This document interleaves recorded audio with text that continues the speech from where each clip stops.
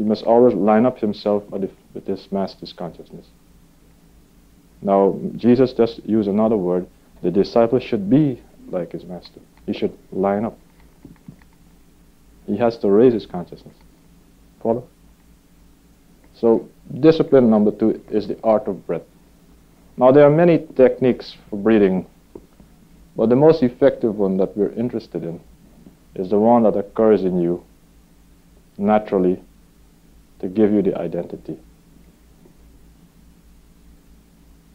In this particular discipline or technique,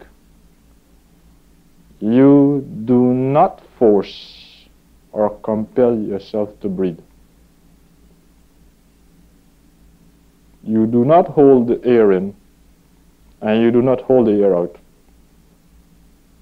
You merely observe yourself breathing. Because you are consciousness, life flowing through a cellular mechanism. And when you're ready to go permanently, you'll have to travel out on that same current. And any sense of desire or attachment when the frame falls over, you will see, well, I lived in that shell and did not even know who I was. Now I'm outside of it. This is a shock. It is when I can go in and out of this, like taking clothes off and putting them on. Then I am free.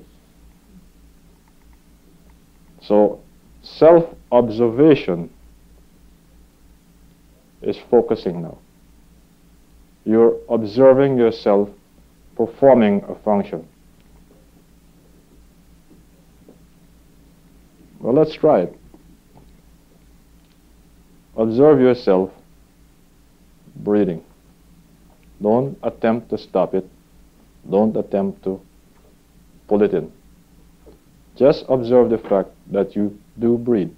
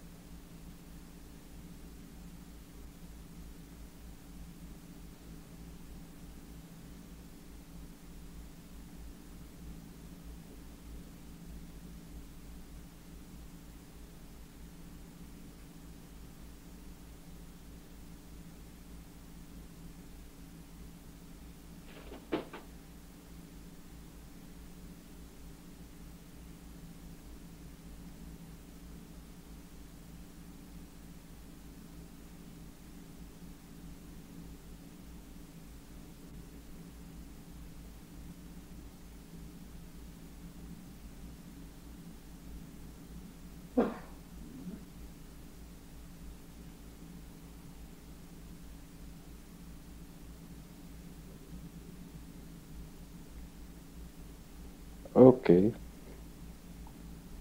Do you notice you have a tendency to feel sleepy?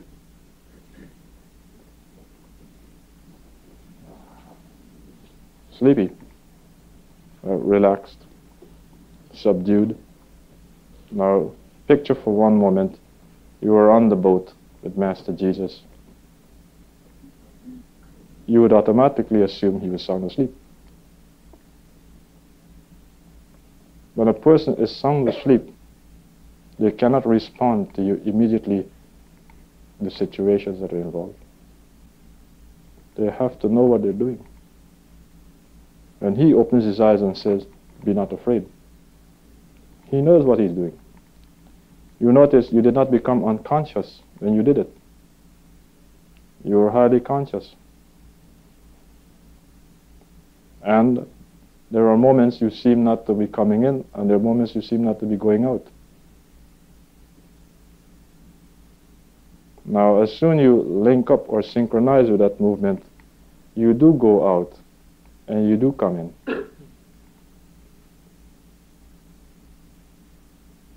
This is a different experience than astral projection. Here you know for sure now what Master Jesus meant. No man take my life from me. I have the power to lay it down and put it back in. Because he is conscious life identified. We're speaking of a different type of discipline, a different involvement with the spiritual force.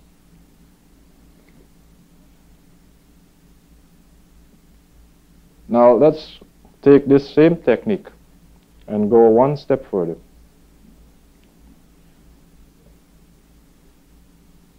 Sound is important. First it was sight, now it's breathing. Then we're going to go into hearing.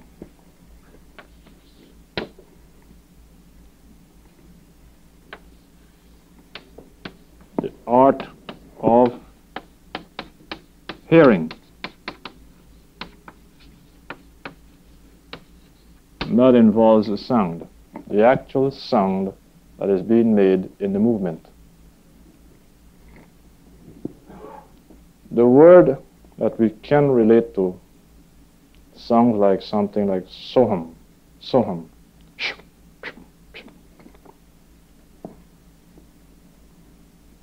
When you watch the breath now, which you are disciplining the nostril,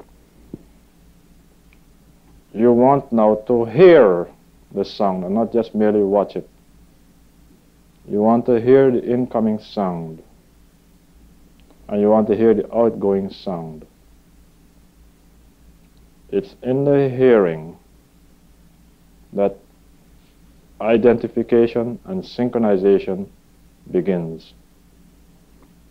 You have to hear it to bring this synchronization.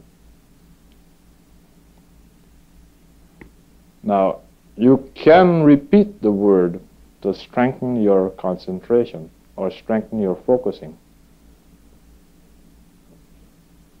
But you must repeat it without moving the tongue. Now, this is going to be a little feat for the tongue, you know. That's the fourth little part that has to be disciplined. You don't want to move the tongue. You want to watch. And you want to hear. But you don't want to talk. Well, let's try it. The word that you're going to mentally repeat is so hum.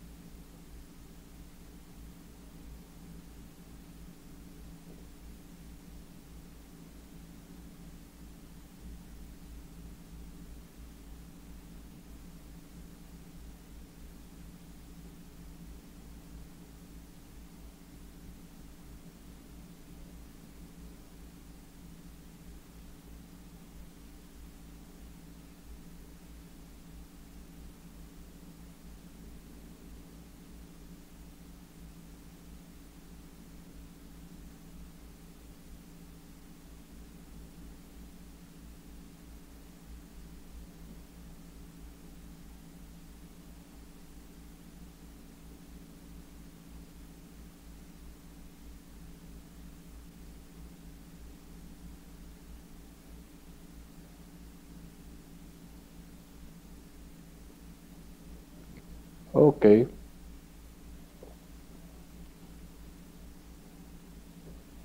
Now we're going to intensify this hearing and synchronize it. When the incoming breath comes in,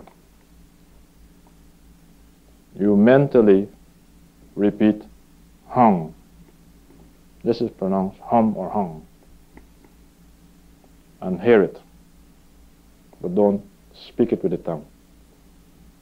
And as it goes out, you mentally repeat without moving the tongue and hearing it sob. You are synchronizing the sound with the movement.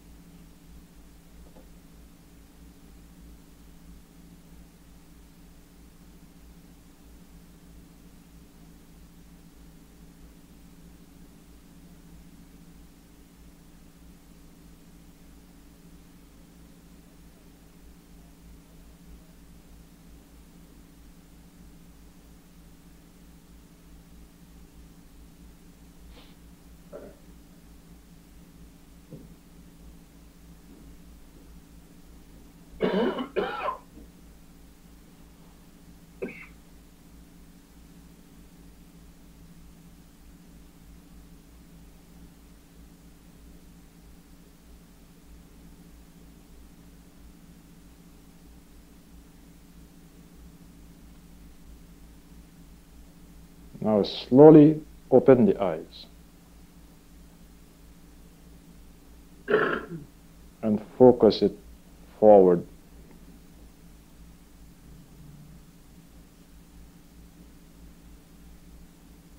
In a half open state.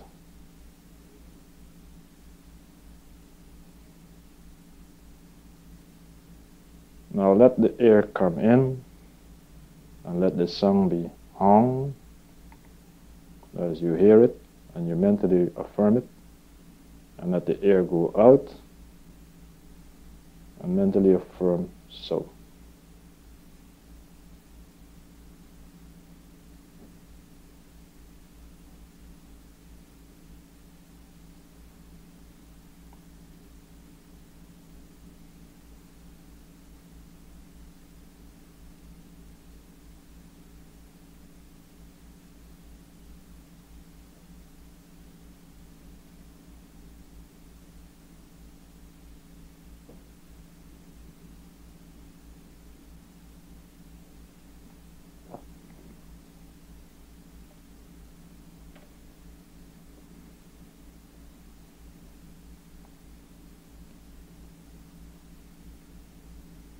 Okay.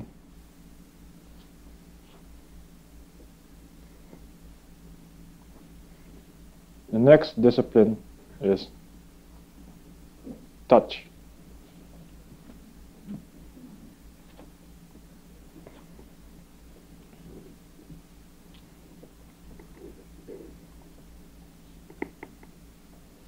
In the East, they usually see them holding their hands like this to indicate touch, controlling of your life energy.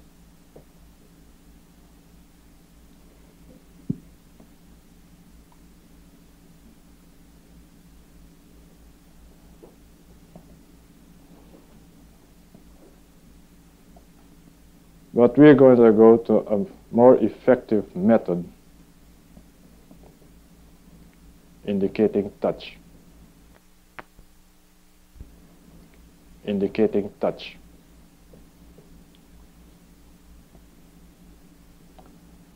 I want you to place your left thumb on your right wrist and locate, locate the pulse beat.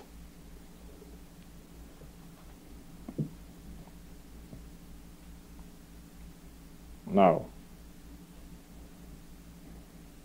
that pulse beat is going to act like a built-in rosary.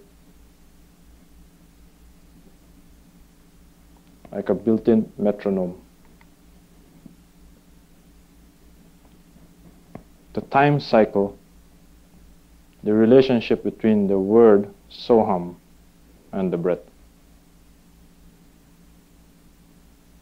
As you breathe in to one pulse beat, you breathe out the next pulse beat. And you breathe in, you mentally repeat the word Hong. You breathe out, you repeat the word Saw. mentally. Now, you do this with focusing. So you can close the eyes and focus, or partially open the eyes and focus. So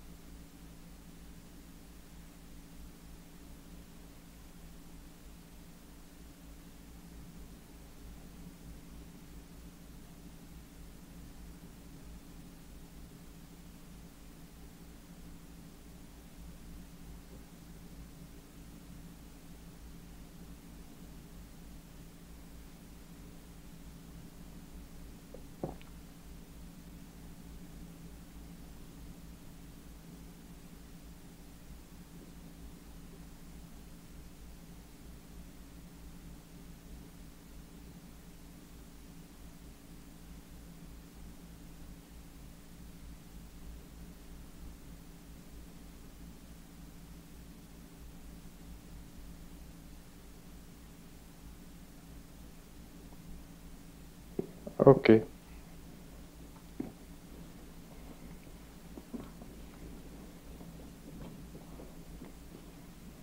Now the whole body is feeling. I'll give you a little story that I encountered on the reservation.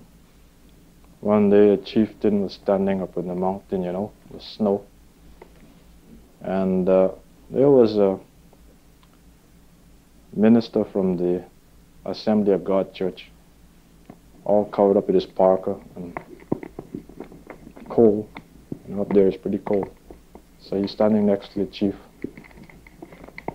All the chief had was a big blanket standing up looking out across the mountain.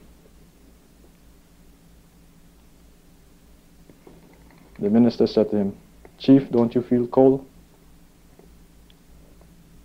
Because all he saw was just a sandal, this blanket hair, face, and everything open.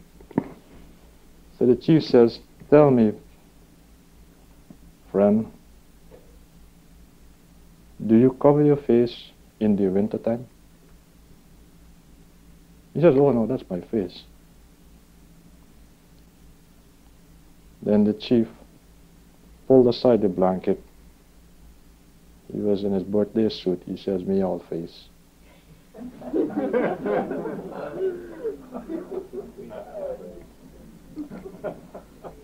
That was a prayer technique I learned.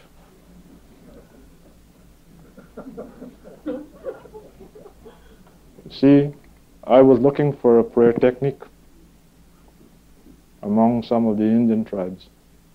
And when confronted with some unusual things, I realized they knew more of what this inner life was than we give them credit. Well, the priest, uh, minister immediately realized that he wasn't functioning in that level. He did learn after a while to get rid of his big parka and uh, diminish a great deal of his clothing, but not to the extent that he could wrap himself in a blanket. He had to learn more of that. But he learned a great deal about himself. Since the whole body is all feeling or all face,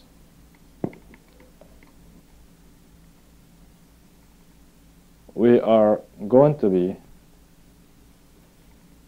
involved with the most difficult part of the discipline the, the discipline of feeling.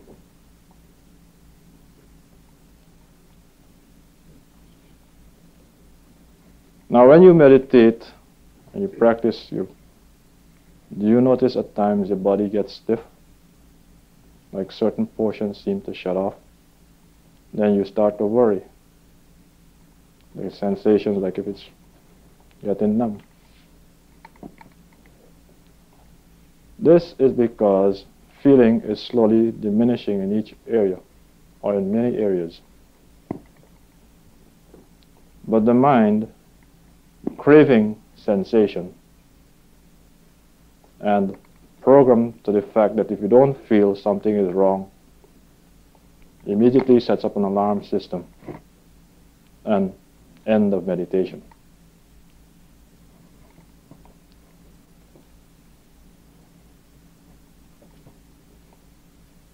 In the discipline of bodily sensation, you have to reach the point of withdrawal that you relax it.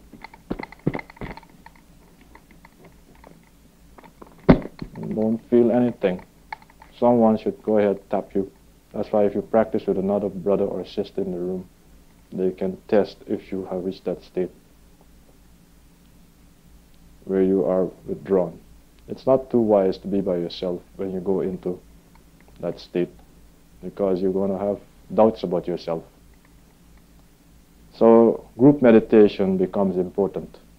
The group discipline becomes important by having someone go around the room while they're meditating and arriving at that level and checking you. This is an actual discipline to know that you are making progress in this withdrawal. How long you can stay inside, outside the range of feeling, determines the strength of the focusing of the consciousness. That you can handle something now in a tangible way. These masters who realize themselves have withdrawn to that point where they're fully identified that they can say, I am not the body. But they don't intellectualize. They know positively they are in a state of beingness and they walk. And there is no such sensation that the normal man. In the case of Mahatma Gandhi, when they operated on him to take out his appendix, there was no medical drugs used to deaden the pain. And he kept on a long conversation while they were busy cutting open and taking out the appendix. You see what I'm talking about? The withdrawal of the consciousness from the physical frame in a conscious way to the extent that you can go ahead work. There is no relationship to sensation.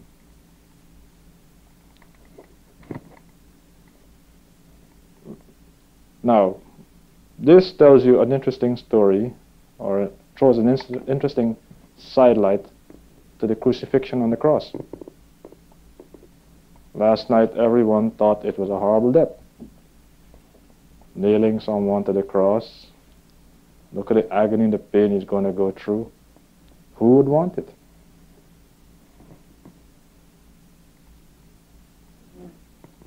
A realized master knows his mechanism thoroughly. And when they nail him, he wouldn't feel it. Anand Swami, the master who initiated me into Swamihood, when I met him, told me an interesting story about his life. And he carries a scar to bear it. He said, I was practicing my basic disciplines on feeling. I was initiated at the age of 14. And when I was 65, ready to retire from this world, I decided to go visit my teacher. All these years, he said, I did not see anything inside, heard anything. It was all blank. But now I'm 65 years, ready to retire. I'm going to go and see my spiritual teacher and ask him why I'm not getting progress. He went to see his teacher, thinking he would see an elderly man with long beard and gray and haggard. He saw someone looking half the age of himself. He said to his teacher, I don't see anything. I'm not making progress. I've been doing all the disciplines required, and I'm not making progress. So his teacher said to him, Tell me, how long can you really sit down and meditate without getting restless?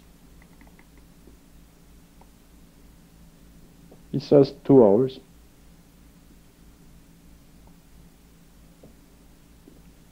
Now, from 14 to 65,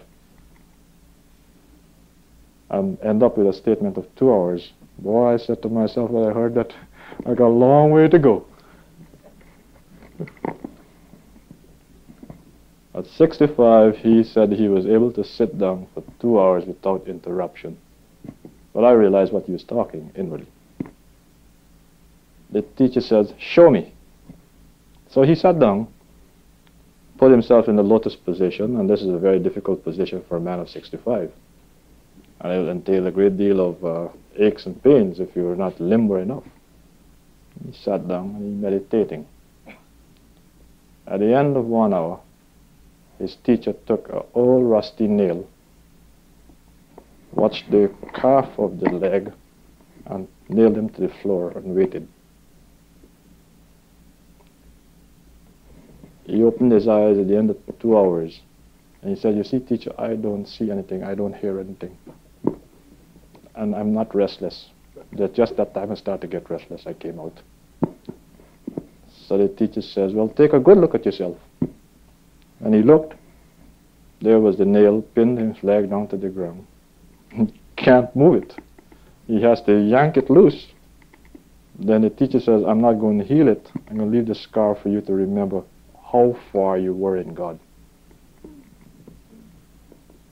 And he carries a scar, punched right through.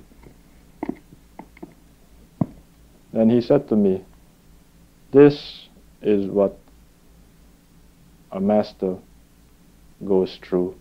Therefore, when he said, Be of good cheer, for I have overcome the world, Master Jesus was not suffering in any sense of the word when he was on the cross. He had reached that level. The discipline of feeling.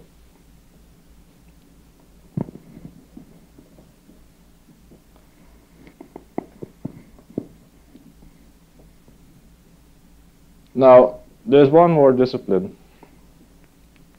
and there are many more, but uh, I have to go to one that is, in order to save time, which everyone seems to remember very much. The discipline of the abdomen. Food.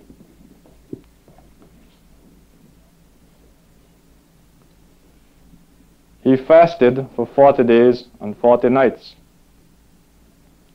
And in all my studies in the Eastern practices, fasting is often emphasized as a discipline for the body.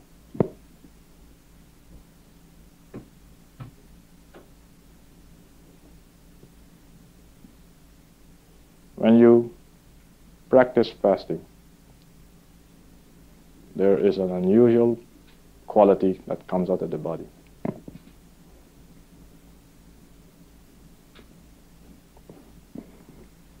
I'll leave it right here for now and take a break and ask questions after.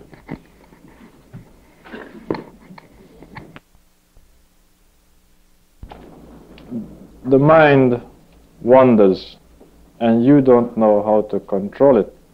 And someone who has meditated long enough to see the movements of the mind, he, with the power of his consciousness, can bring it back.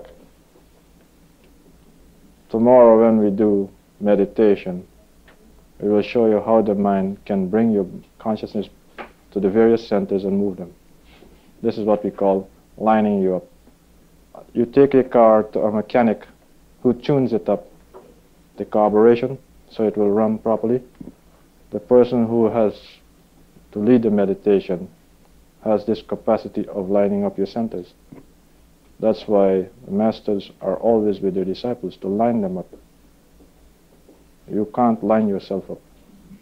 You do not know at what level your plexuses are working. You don't know at what rate your own chakras are working, or what you call the seven stars or golden candlesticks, symbolically speaking, the vortices of energy inside. You don't know how they're working. It does need someone. Now, this is where you come to the word swami. Swa means self, means master. He who has mastered the electrical movements of the mechanism. You mean a master know what, what you were thinking Yes. The psychic click? No. You're telegraphing it electrically to him. Mine. Mm-hmm. It be telegraphed across because you see, thought is energy, and energy is moving at the speed of light squared, and he is lined up as a resonator. His pineal gland has certain crystals which has a piezoelectric effect and picks up your frequency. And therefore, when he puts on uh, a calibration, he's calibrating everyone. Reading your mind? All right, reading your mind.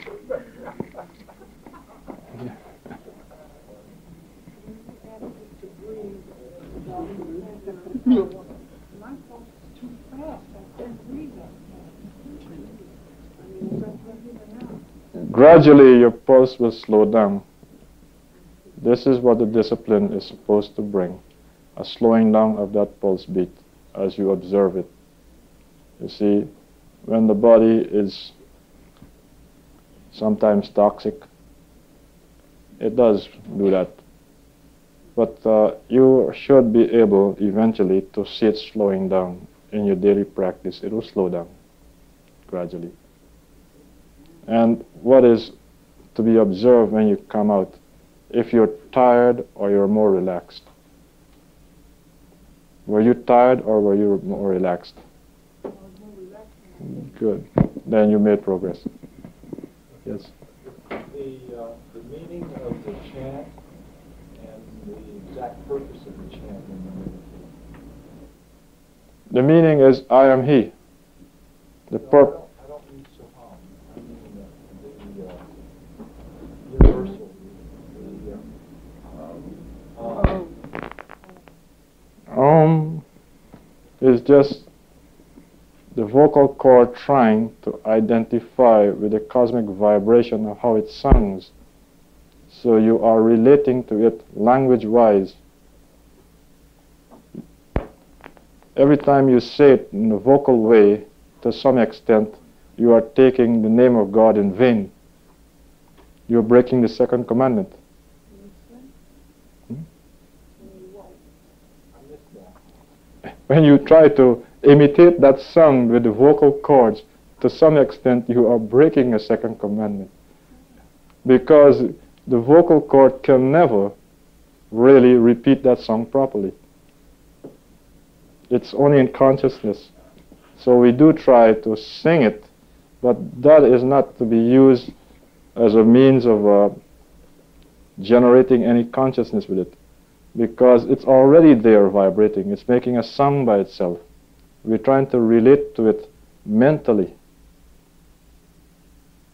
Now, there's a big difference of relating to the sound om mentally than relating to the sound orally.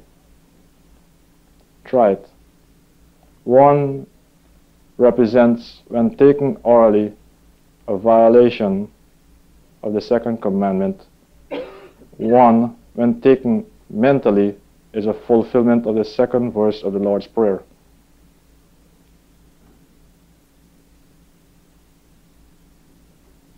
What is the second verse of the Lord's Prayer?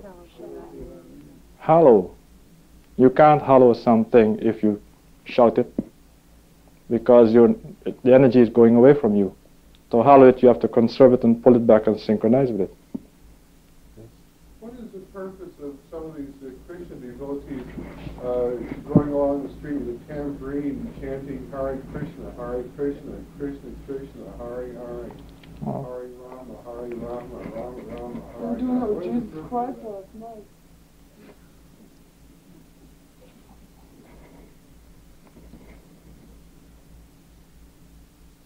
It generates great devotion but no realization. You want to say something? Uh, You didn't mention the discipline of silence. Yes. Is that not a very important discipline? To learn to be quiet, learn to be still? Yes. All these disciplines end up as be thou still and know that I am God. They are all funneled into this experience of silence. But to say to someone, be silent, you know what's going to happen? You may have diarrhea of the mouth. Could you explain the laws involved in Jesus' resurrection?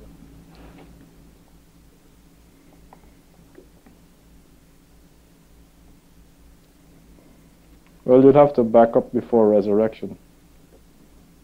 Remember, he did not die on the cross. Well, the term used, he gave up the ghost. Now, literally, when you crucify a man, you nail him in order that he should suffer a long time and would beg you to end his agony. And this can go on for days, let alone from uh, 9 o'clock in the morning to about 5 o'clock in the afternoon in one day. Before the, the evening came that they were going to take him down from the cross, it stated he gave up the ghost. Now, people went and asked for the body. The Romans were doubtful that this man was dead from their experience of this particular type of death. And then a soldier went to make verification. What did he do? Yeah. But there was no sound after the body. So the Roman soldier was satisfied that he was dead. That's how much we are unfamiliar with the laws of the mechanism. Granted that he is not making any sound, a pierce with a spear in that area is sufficient to agree that he is dead. Okay, have the body, take it down. A master is capable, as I said, not astral projection, taking the life energy out with his consciousness and riding on that current and leaving the body in a state of suspended animation. Now that body would not decay, let alone he's in another dimension now where he can start rebuilding the body if they put it in the earth. He's in a different dimension now. He has control over this mechanism. Resurrection is like your butterfly coming out of the cocoon when it was once a caterpillar. It's a distinct, new creature.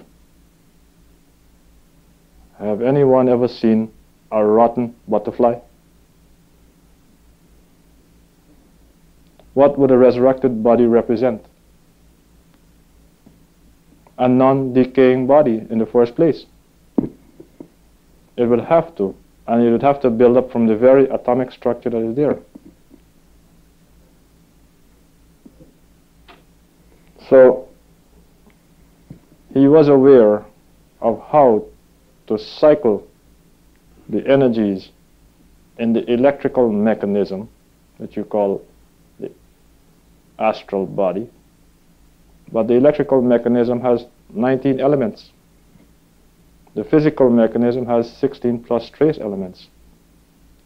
And being aware of how these two forces work in combination, he cycled it with his ideational body, which is comprised of 35 elements, thereby removing all the carbon that would not allow it to cast any shadow, bring it to a condition where it will transmit light.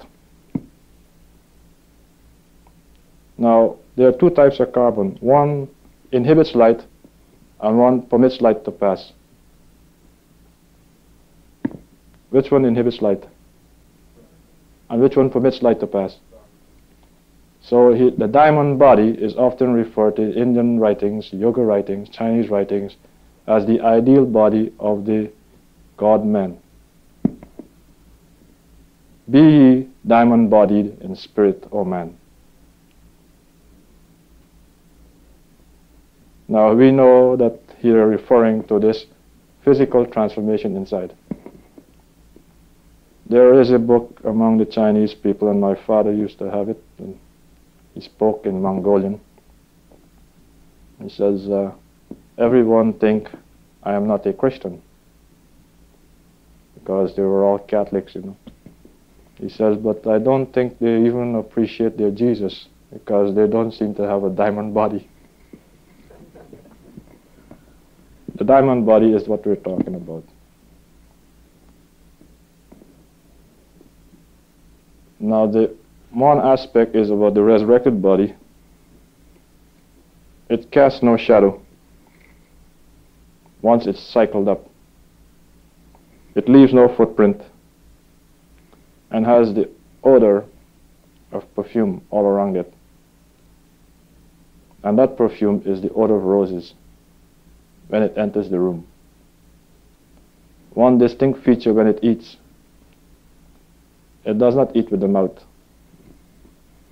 If intravenous can feed a human being, the resurrected body can draw energy out of the physical substance with the hand by just touching it.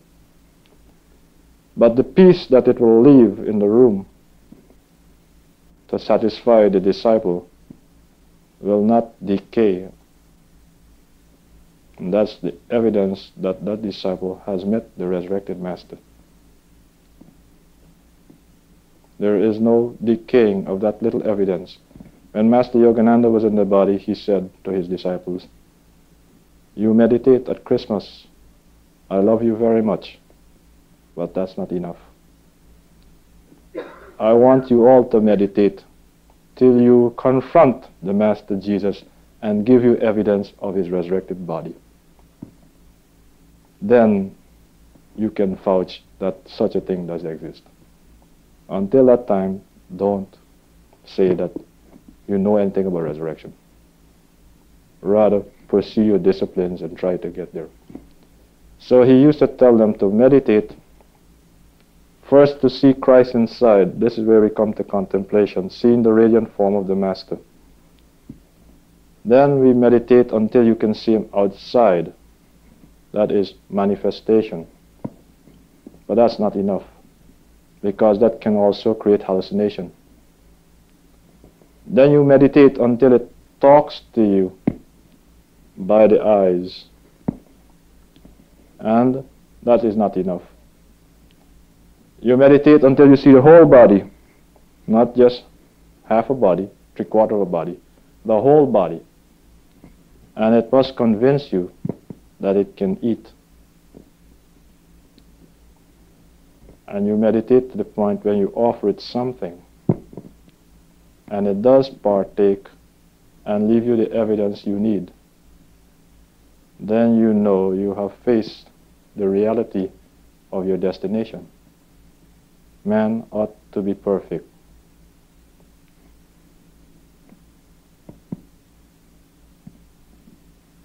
Such evidence doesn't exist.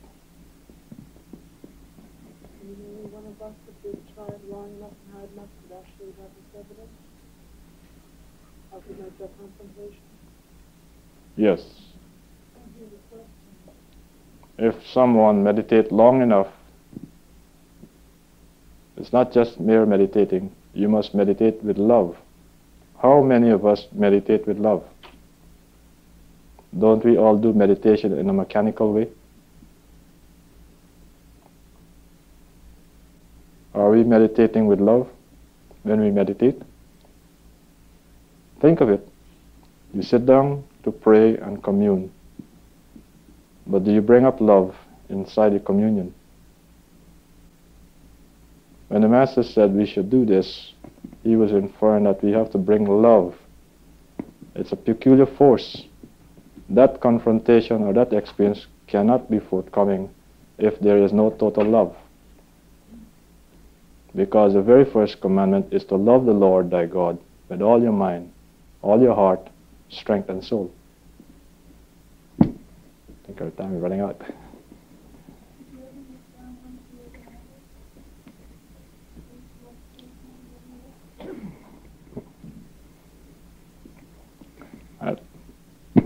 How much time do I have?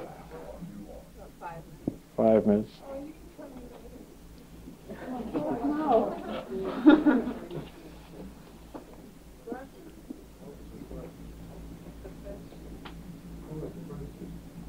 If I have ever met Master Yogananda.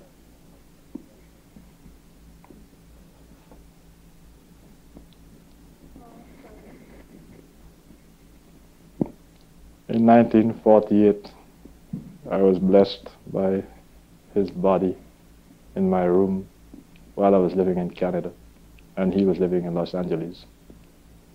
You had your own career at that time. You were studying, you know, he left you. No, he was alive. He wasn't dead when I had the experience.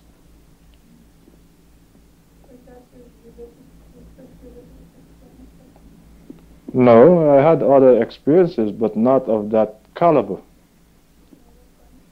There's a big difference when a realized master in the body grants you the experience of that communication. I did not know who he was when I had the experience. But a day later, I found out. I found his autobiography of a yogi. And when I read it, he was a living man. So you can imagine I wanted to make communication.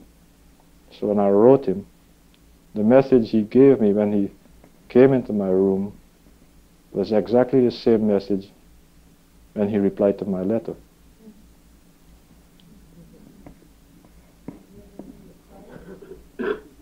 Master Jesus? While I was in Utah, I've had that experience by the grace of the Master. Master Jesus is not six feet tall though. He's five feet eleven. What's he look like? What's he look like? Uh, he looks like a Greek texture. The texture of his face is like. Deer no, he has hazel eyes. Yeah, hazel eyes. The texture of his skin is like a Greek, a young person, and the hair is auburn color, brownish, eh, more of the brownish color. Long, like Yes, it's long and, and it's the beard is sparse. Cayce, said- Cayce in his vision of Last Supper said that his hair was red. Reddish, yeah. Reddish blonde and his eyes were steel colored gray. Well, when you say gray, it's not really gray. It's because he's capable of fixing it, that it filters light. You see? That's why it looks like Does that. it look like the pictures that most people, that, like you see in the United States today? The only man who actually had an opportunity to paint him when, while he posed for him was the Solomon head. No, the Hofmann head. Hofmann, the artist, had two visitations by the Master Jesus where he posed to let him paint the head. So the only head that looks in authenticity of what he is is the Hofmann head. Next to that would be the uh, napkin of Veronica.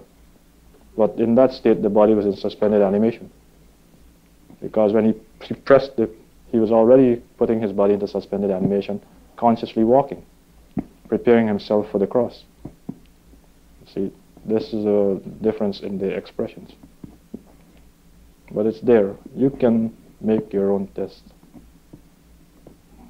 Okay, let you go.